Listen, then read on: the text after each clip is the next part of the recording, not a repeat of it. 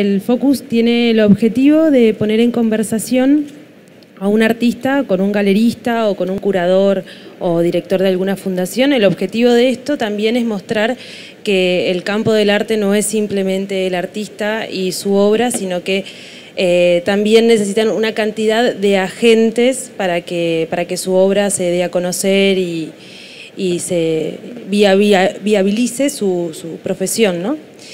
Entonces, bueno, en este caso eh, tenemos como invitados al artista chileno Gonzalo Cienfuegos y su galerista Carola Musalem. Eh, perdón. Em, el objetivo, bueno, esto es tener una charla distendida. somos, siempre empezamos pocos y después se va sumando gente. La idea no es que sea una super conferencia, sino que cuando ustedes quieran puedan levantar la mano y hacer una pregunta. Eh, no es la intención dar una super exposición, sino justamente ver este interesante vínculo que hay entre el artista, la obra y el galerista. ¿no? Así que bueno, muchísimas gracias a ustedes por, eh, estar acá, por venir, por acompañarnos y a nuestros invitados también por, aceptar compartir un poco de su experiencia. Y bueno, les doy la palabra.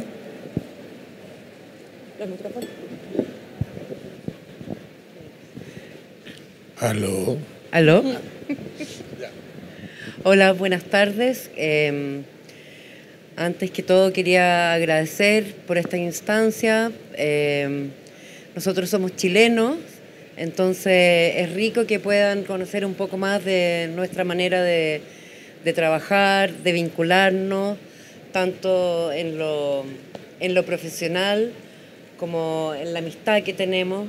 Eh, para, para mí es súper importante para poder trabajar con un artista, crear un vínculo y tener algún tipo de, energía de llevarnos bien. Entonces, me encanta poder compartir unos minutos con ustedes y hablar un poco del trabajo de, Gonzalo. Em, bueno, Gonzalo, eh, tú partiste en, en la Escuela de Bellas Artes en Chile por un periodo, pero luego saliste de saliste de Chile y eh, anduviste dando vueltas por Sudamérica hasta que llegaste a México y te encontraste con este maestro Cuevas, José Luis Cuevas. Cuéntanos un poco eh, cómo fue ese encuentro, cómo fue esa interacción con, con, este tremendo personaje y cómo tu obra se vincula. Mira, eh, lo primero que me gustaría señalar es que agradezco eh, que me hayan sentado acá arriba. Eh, yo veo este espacio y es un gran living, me gustaría tener uno así para convidar a gente y en lo posible una, tarima no tan alta como esta y poder hablar así. Me gusta la idea de poder comunicar. Bueno, la historia es de un transhumante que empieza eh, muy temprano con, con la música, y luego con conflictos con las maestrías de música, eh, se va a la pintura, la pintura a la arquitectura, la arquitectura a la decisión de si es arte o arquitectura.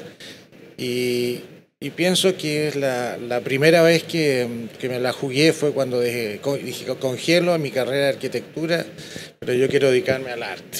Al arte. Y la verdad es que no estaba muy prestigiado porque no se veía que yo era un talento sobresaliente, sino que más bien uno de 5,2, una escala de 1 a 7. Y, se produce una serie de circunstancias en el año 70 y eh, yo me voy a México a estudiar arte y entro eh, en un mundo para mí completamente desconocido, lo que era el nivel cultural, la civilización mexicana, la cultura mexicana, y que yo creo que me formó profundamente. Y entonces, después, eh, circunstancias también eh, políticas, eh, México rompe relaciones con, con Chile a partir de Pinochet, golpe de Estado, etcétera, etcétera, y yo no puedo renovar mi visa y de tal manera que me voy a Buenos Aires y en Buenos Aires también aprendo muchísimo. Me encuentro que lo, más interesante eh, que, yo he logrado en mi vida aprender de, los viajes, de la gente, de las culturas, particularmente México, eh, Buenos Aires y, y, Perú, Brasil, etc. Me interesa Latinoamérica, creo que me excedí a la respuesta. No, para nada. ¿Por qué no me contrapregunta entonces? Porque está muy entretenido lo que estás hablando, te estoy tomando atención. Eh, bueno, eh, estaba hablando de Latinoamérica, que, que, es tan complicada, porque eh, Latinoamérica que va de México a, la Patagonia, la cantidad de culturas y de países y de, y de ¿cómo se llaman? Acentos y, comida, etcétera. ¿Qué es Latinoamérica? El cono sur, que somos nosotros, Chile, Argentina, Uruguay. Ya después se va complicando el Medio Oriente, es un raro, pero yo creo que en la cultura, en la cultura latinoamericana hay algo que es, es que los une, que hay una actitud. Y creo que eso es lo que me gusta a mí potenciar y he tratado de circunscribirme eh, fundamentalmente en Latinoamérica como, como artista y no, no incursionar, por ejemplo, en, Taiwán, en, no sé, cosas raras.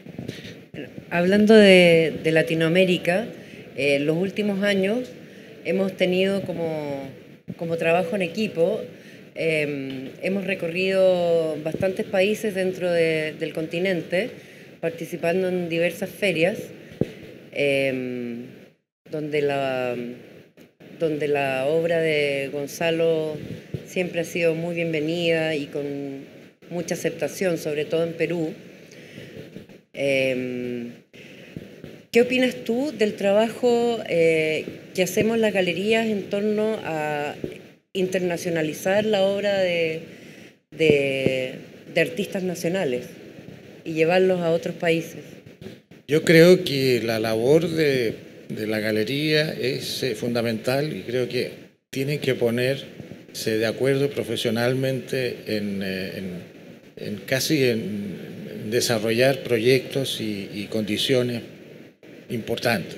Las galerías tienen, que son comerciales, tiene que eh, lograr el mejor producto, tiene que lograr que este producto llegue lo, más lejos posible, que sea un marketing que, que, ayude a los artistas y los artistas tratar de ser lo más, eh, lo, más potente, lo más serio, lo más profesional posible.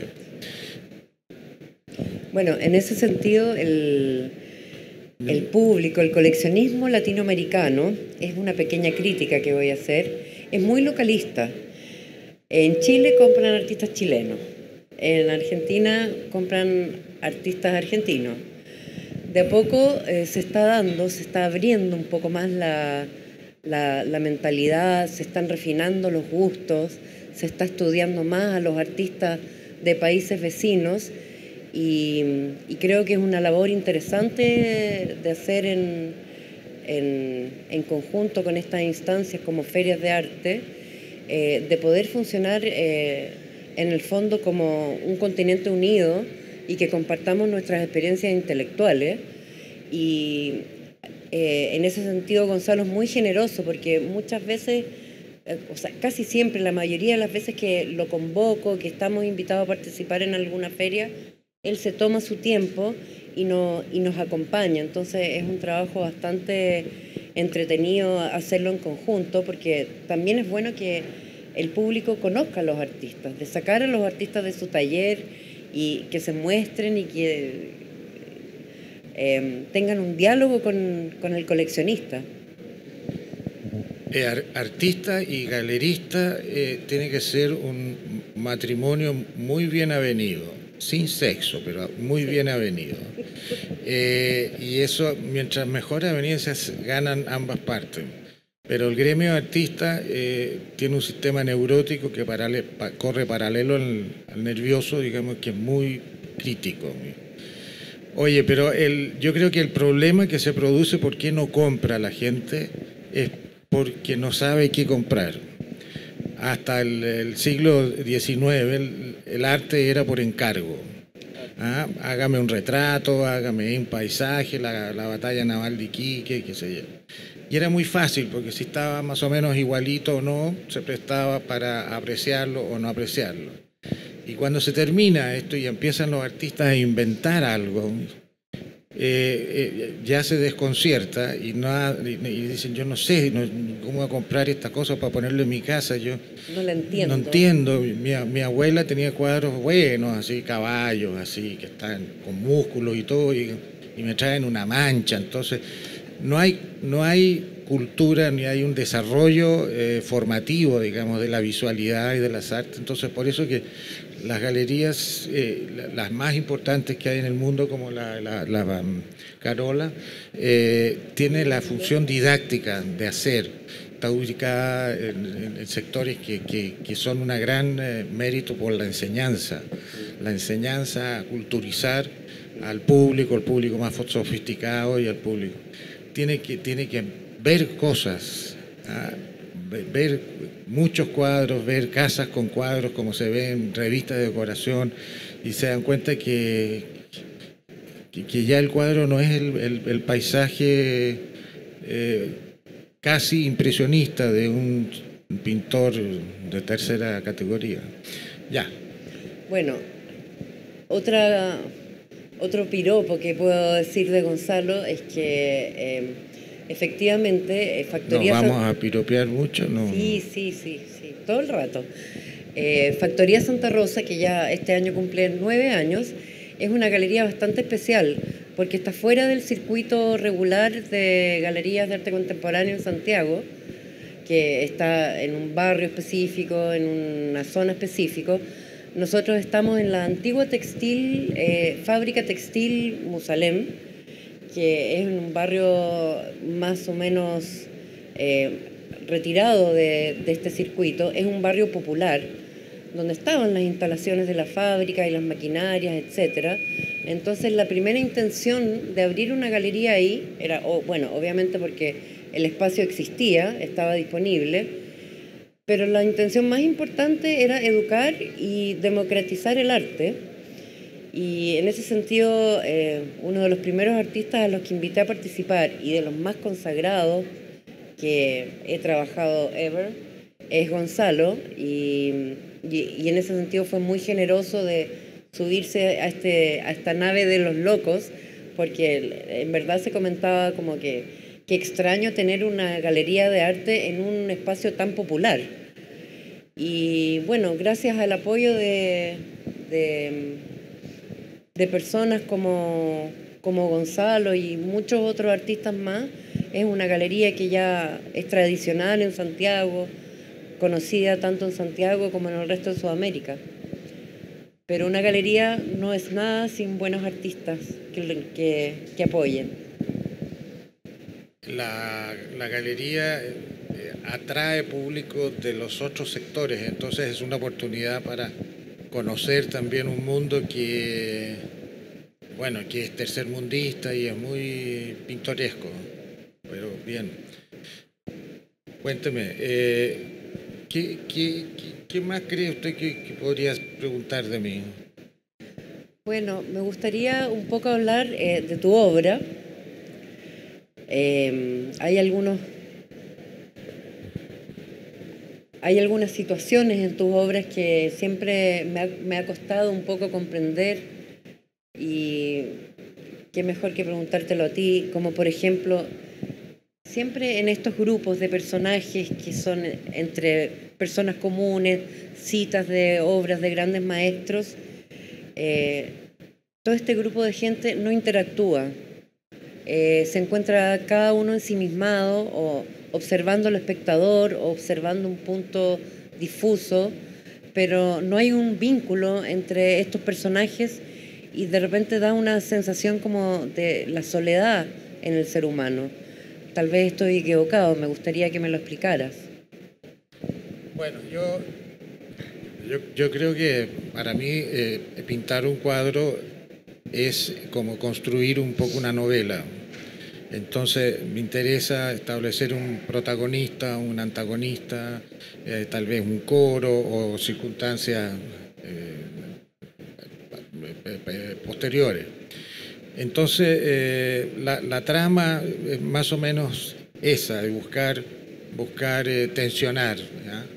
Siempre he considerado que el embrión de, de, una pintura es el primer punto negro que se pone sobre la tela, ese es como el huevo, ese contraste entre punto y fondo, esa, esa evolución que se va rayando, que se van armando, que van surgiendo cosas, que se va dibujando.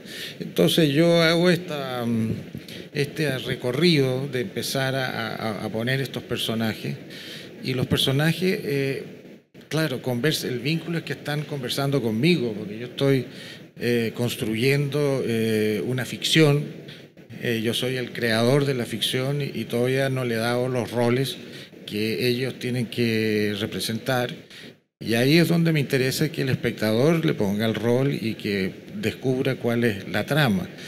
He tratado de jugar un poco con los títulos, que el título sea un complemento, no una reiteración del, de la imagen para mm, ponerle verbo un poco a lo que yo entiendo como relato discontinuo.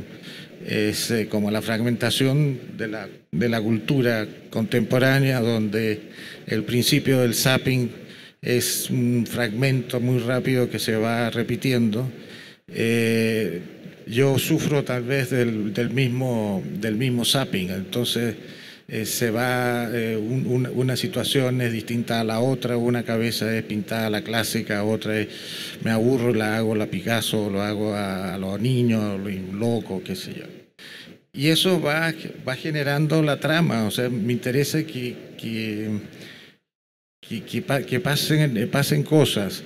Eh, se hizo una muestra en el Museo Rally que vengo de allá y vi mi pintura en una colección bien, bien importante que tiene el museo de cosas de hace 20, 30, 40 años que yo no veía hacía entonces. Y me entretuve, ¿por qué? Porque sentí que los cuadros habían cambiado muchísimo, no sé, muy distinto como yo los, los recordaba y como los, los, veo y los colores que usé y, y, el sentido del humor y la, la, todo el relato iba, iba, iba cambiando y me di cuenta que que siempre, eh, me acuerdo una, una, frase de un amigo mío, un músico, y me decía, mira, los conciertos brandenburgueses de Bach los he escuchado millones de veces, pero cada vez de repente descubro que hay una flautita por allá atrás que está señalando una cosa y los vuelvo y me entretienen y me entretienen. Entonces, yo creo que la obra de arte tiene que tener esa, esa continuidad en el tiempo y que, y que, se le descubran nuevos relatos. Y si yo eh, hago, no sé, un, un, relato de un tema específico, yo creo que no sé lo que podría salir porque a lo mejor sería demasiado, comillas, literal. Em, ¿De qué manera influye la contingencia? Eh, lo que pasa alrededor en el cotidiano o tal vez la contingencia política em, en tu obra? Eh, bueno, eh, la contingencia es la experiencia eh, personal, cómo se está confrontando los distintos, los distintos procesos que están sucediendo.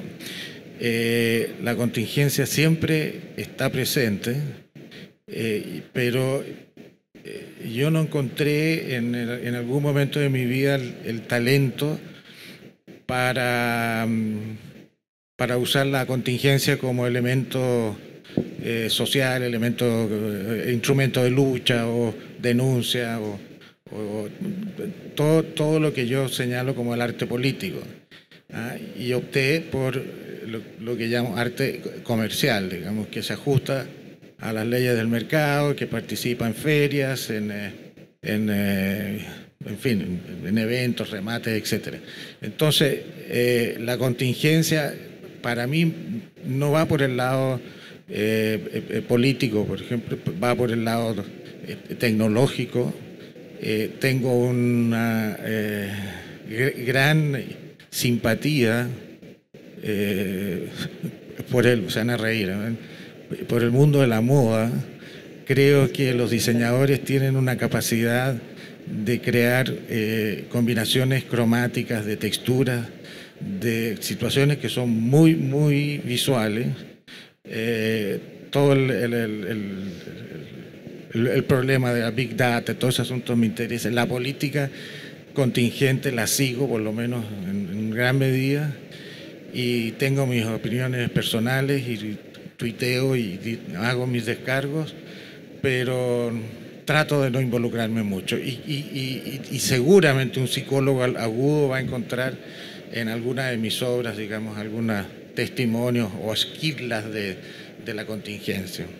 Bueno, te adelantaste a, una pregunta que te iba a hacer, que es algo de tu obra que me fascina, em, ya vamos a nivel personal, eh, los detalles con los que tú eh, ejecutas eh, los ropajes, las vestimentas, los accesorios, las joyas, eh, los tapices de los muebles. Pareciera que esa parte textil para ti es súper importante, que le, pone mucho... Mira, a mí, a mí lo que me pasa es que la pintura yo la entiendo primero como magia, como una obra de magia la, capacidad que tiene un mago que pesca un palito que tiene unos pelitos y encuentra unos, unas pastitas, unas cosas, las revuelve, qué sé yo, y saca un paisaje. Para mí es, mucho mejor, más mágico eso que quebrar un huevo, sacar un, un, conejo. creo que es más difícil. Entonces la magia se va, se va exacerbando y lo que viene siendo la magia de la representación que es esa capacidad de, ponerle un brillito a la, botella y la botella se convierte en vidrio y antes era una plasta. Eso es como la varita mágica que va tocando. Y esa, esa característica a mí me, seduce mucho y, trato de llegar lo más lejos posible en, representar, por ejemplo, un ojo eh, un textil, como dice, o un vidrio, eh, sin, eh, sin llegar a la frialdad de un, de un hiper, porque también la, la, pintura la entiendo como una tensión pigmento-soporte, digamos, que tiene realidad, que tiene, aunque sea una, mancha muy, muy, muy fina y, que no es, eh, que no es ilusión, o sea, no es una proyección de luz en la pared que uno ve un mono, sino que tiene, tiene realidad. Y por eso que no siempre eh, la pintura tiene que ser eh, figurativa. De repente hay una pintura que es puramente matérica y, y, es un gesto maravilloso. Bueno, de acuerdo con tu, con tu, con tu línea de trabajo del realismo mágico, Em, ¿Cómo logras eh, poner personajes de distintas épocas, eh, citas de distintos maestros eh, en, un, en un lienzo y, que se vea todo tan bien y que estén, son personajes como atemporales, pero que tienen marcadas épocas dentro de la historia del arte? ¿Cómo, cómo ocurre esa magia? Mira, en un momento eh, alguien me pregunta de dónde vienen mis personajes. Eh, yo titubeo, digo, no, son personajes que vienen de, mi imaginación, pero no, venían de la historia del arte. Entonces descubro en ese momento eh, Las Meninas de Velázquez y encuentro el, el, espacio de Las Meninas, un estudio que hizo Ortega y Gassetti, que fue muy entretenido, de, cómo está construido el concepto del espejo, del espacio, del autorretrato, del autorretrato, del autorretratar, en fin, hay una serie de, de, circunstancias. Y ahí encontré que era un espacio que yo podía utilizar para poner mis propios personajes y mis propios actores. Entonces, eh, el, hecho de, un cuadro dentro de un cuadro es eh, algo que siempre me, ha interesado, que es como el, arte dentro del arte, el teatro dentro del teatro. Entonces, eso me, ha permitido de repente a veces eh, cambiar bruscamente de estilo o de estrategia o, pictórica para poner una una situación frente a otra. Entonces, eh, luego me, conmoví mucho cuando descubro eh, el teatro, el teatro del absurdo de, Jean Cocteau, Anuil, eh, en fin, de la, la, la, silla, la cantante calva. Yo decía, ¿cómo es tan maravilloso la interrupción del relato esa situación que, descompone, dice, abre la puerta y ¿dónde está la cantante calva? Entonces, esa libertad de, de repente descontinuar un relato y poner una, una vaca desproporcionada frente a, una ninfa eh, prístina y pura, digamos, es un juego que yo lo entiendo que pretende ser poesía, poesía visual donde se conjugan distintas imágenes para crear una tercera. Bueno, la ironía y el sentido del humor también son característicos de tu obra y de tu personalidad, porque tú tienes mucho sentido del humor. Em, cuéntanos un poco eh, de esa parte tuya, de esa característica tuya? Eh, esta es la pregunta más difícil de la noche. Eh, no sé, mira, yo, yo de repente descubrí que la originalidad no es, es ser distinto por ser distinto, o sea, tratar de, dice yo quiero ser original y me voy a poner cachos de cabro en la cabeza y y una serie de estereotipos de, de, ese, en ese sentido. Y, dije, ser original es ser coherente con su propio origen y mientras más coherente va a ser más diferente porque no hay dos seres iguales. La, la, huella dactilar es el, el rasgo mayor de, de, de diferenciación.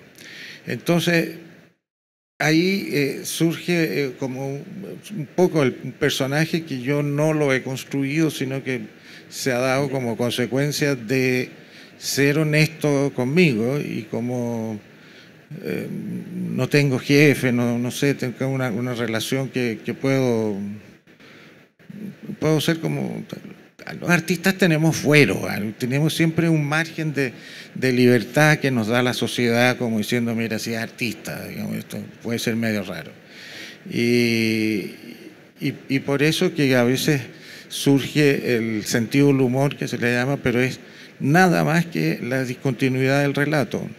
Si yo digo algo que está fuera de contexto, hay dos posibilidades, o que se enojen y que digan, mira, eso no es pertinente al tema, por lo tanto lo tuyo es una impertinencia, y te rogaría que no siguieras siendo impertinente o te retiras de la sala. Entonces, eh, eh, eso, y, de repente puede tener un éxito en el sentido de, de que se construye otra, otra realidad, se suman dos, dos opuestos. Y eso a veces causa risa, porque se cayó cuando iba caminando, se suponía que no se iba a caer y el tipo se tropezó, se cayó y, nos da risa. Yo encuentro que eh, es, bien serio el asunto. El humor está basado en el porrazo. y, por eso que yo no sé si, si tengo sentido del humor o no, yo creo que soy más bien serio, pero las cosas que digo en serio las toman para la risa, entonces es un problema complicado. Ya.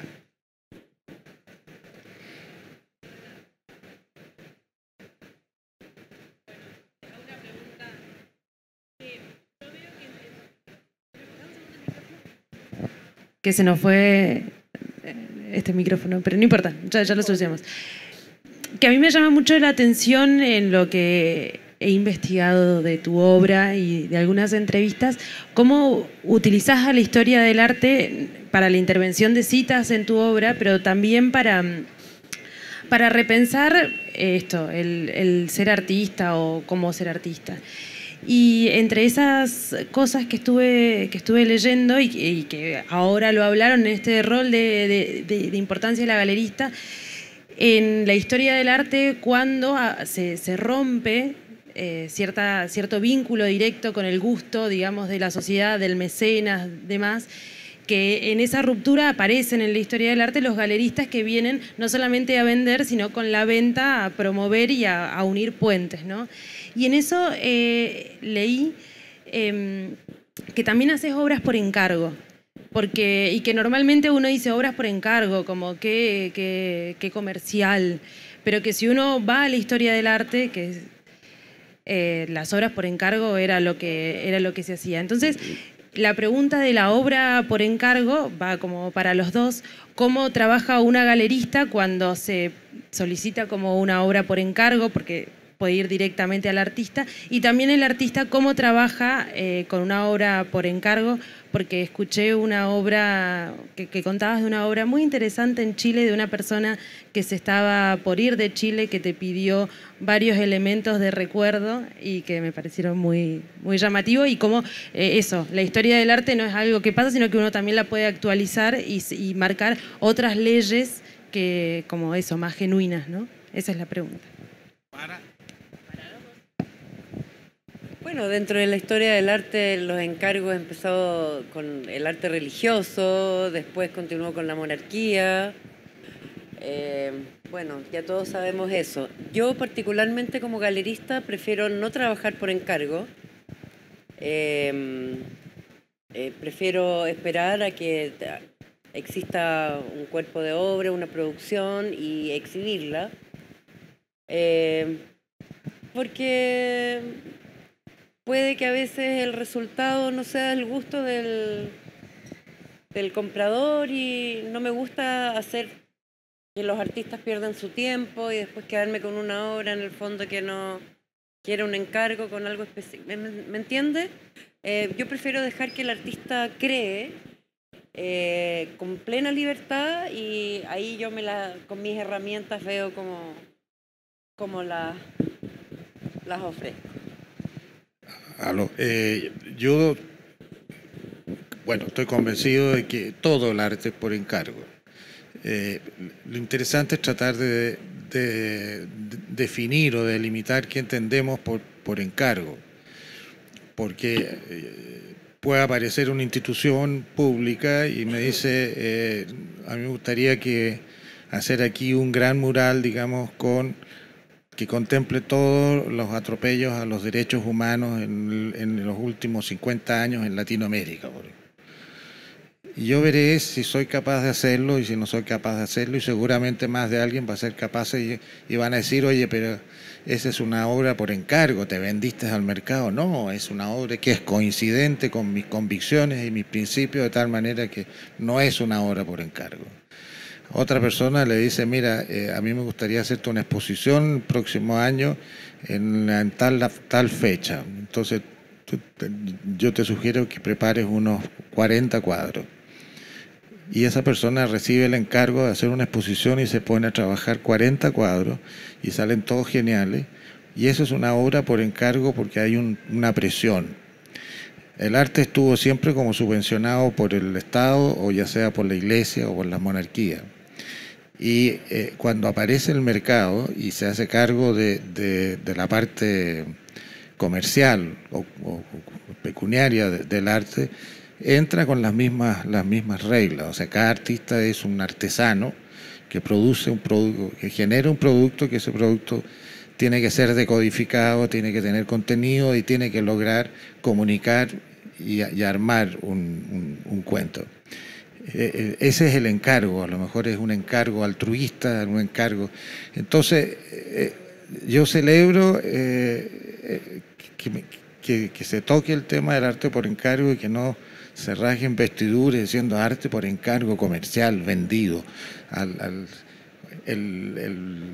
Aparece el Teatro Municipal y me encarga un, eh, que, que, decore todas sus paredes, pero no te quepa la menor duda que voy a ser el ser más feliz de la tierra porque acepto un encargo y aplicaré mi talento, mi personalidad, mi, mi mundo, digamos, para tratar de hacer una obra buena, o sea, profesionalmente sólida, que no se caiga, que no se descascare y que tenga eh, una armonía con, con, el destino donde está prevista.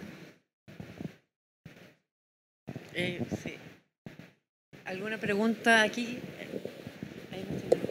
Ya que nombraste eso, este, quería felicitar, yo soy conservador y restaurador del Museo Rally. Y Muchísimas gracias. Y tenemos una obra maravillosa tuya que los invito a todos a ir al museo un acervo fantástico y durante y he restaurado muchas obras de latinoamericanos y la tuya es fantástica. Tenés una materialidad increíble. Vos viste que las obras tienen 28, 30 años casi y más allá de la suciedad que puede tener cualquier obra de arte, la tuya se mantiene impecable. Quiere decir que tenés una profesionalidad que pocos artistas tienen, te digo. Así que felicitaciones, en serio. Y muchas gracias. Muchas gracias. Mira, te agradezco el comentario porque eh, trato de hacerlo de lo mejor posible porque eh, es por, el respeto de la, de la, obra, o sea, de, de quién se, se, va a hacer cargo. Yo me he encontrado con, cuadros míos que casi como han dado la vuelta al mundo y que han tenido una fragilidad terror, de terror y he tenido que confesar que estaba usando un material especial. Así que, bien, el artista hoy día tiene que ser profesional, creo yo, comprometido con su trabajo y sobre todo definido en qué lado de la luna quiere estar, en el lado claro o en el lado oscuro, porque hay, hay, dos versiones. Si hay una, hay una tendencia a decir, ya, yo privilegio esto, yo soy un artista del Estado y yo voy a, trabajar para el Estado y voy a denunciar al sistema liberal, etcétera, etcétera política o, comercio, digamos. Yo sé que son temas que se riñen y uno podría decir, bueno, podrá ser un, poquito intermedio, ni lo uno ni lo otro. Tengo, sí, tengo una pregunta. Em, la relación de coleccionistas eh, en Chile o con internacional con la obra de, Gonzalo, ¿cómo tú lo trabajas? Eh, cada obra de Gonzalo eh, invita a los coleccionistas, la manda o hace una exposición e invita a los coleccionistas a la obra. ¿Cuál es una manera de, acción de ustedes? Mira, si, lo que me corresponda responder eh, es, es, es, un trabajo, un recorrido lento, porque eh, digamos, cuando uno es niño se lo vende el hermano para poderse comprar la entrada para ir al cine. Después se lo vende al primo, después al vecino, después el, retrato de la novia, después llegan dos juntos. Después al principio es una situación muy lamentable y después se va, se va mejorando. Y, se va comprando de a poco, porque por ejemplo la colección de rally, yo conocí a este señor eh, Harry Recanati, nos hicimos muy, muy amigos, viajamos por varias partes y, y, le, encantaban mis cosas y cada cierto tiempo llegaba a Chile y compraba y decía, ya, pero celebro eh, el hecho de haber hecho una colección, porque yo creo que es la colección de cosas mías más, más, eh, más grande que hay en, eh, en Sudamérica, no sé, en todas partes. Nadie tiene, no sé cuántas obras son, 100 Ah, los 13. Hay, hay cinco museos rally. Entonces acá tenemos creo que 30 y después hay en Chile, en Chile hay en Israel y hay en Marbella, entonces debe haber como 100 fácil, sí. Y no hay coleccionismo todavía establecido en Chile. La gente más joven está empezando a, abrir, o sea, yo diría como a romper ciertas categorías o ciertos paradigmas para eh, salir del grabado inglés, por ejemplo, a, poner alguna cosa más aventurada. Pero es el gran temor, decir, oye, compré este cuadro, ¿te gusta? cosa más horrorosa. Me dicen, no hay como un referente, cómo eh, eh, medirlo. Entonces, ante la duda, abstente. Y por eso es que el mercado está reprimido. Y también quiero sumarme a la respuesta. Eh, con Gonzalo trabajamos hace aproximadamente nueve años, pero previo a eso hubo mucho trabajo de otros galeristas antes que yo, importantísimos, tanto en Chile como en Nueva York, en Estados Unidos. Entonces, esto es un trabajo largo de toda una vida eh, y que afortunadamente eh, trabajando en conjunto hay veces que siento que estoy cosechando frutos que, otros han sembrado. Em, hay muchos jóvenes también que ya por nombre conocen a Gonzalo y que empiezan de a poquitito con un grabado, después van agrandando sus gustos y su, su, su bolsillo en el fondo. Pero es un privilegio trabajar con alguien que ya viene con una larga trayectoria. Eh, con un gran nombre.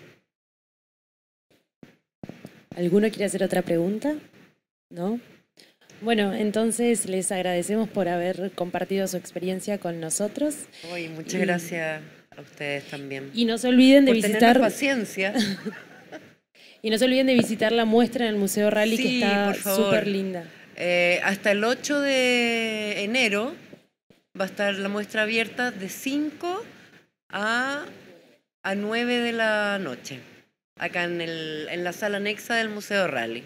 Y nosotros estamos en el stand 24. Bueno, gracias. Muchas gracias.